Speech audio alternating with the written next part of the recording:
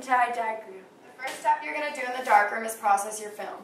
All the chemicals for processing your film are over here to my left. Inside these cabinets, you'll find things helpful for printing your photos. Here are pieces of glass that help for 8x10s and contact sheets. Here are stencils to ensure even borders on your pictures.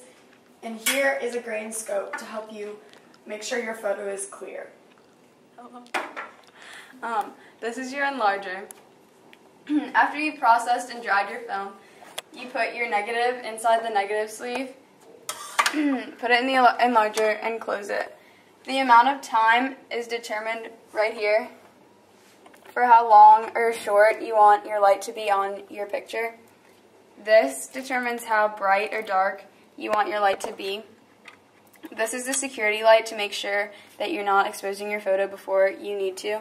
Right here adjusts how big or small you want your actual picture, and this nozzle right here is the focus. Bye. Hello. Um, this is the station you're going to be coming to next after you enlarge your picture.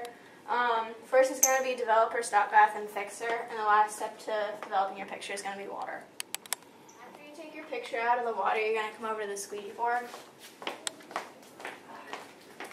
You're going to stick your picture on the squeegee board and you're just going to squeegee off all the chemicals and water. And after you're done squeegeeing off the water and chemicals, you're going to put it down here on the drying rack. Hmm. I hate Phoebe Dingo. Smells like magic.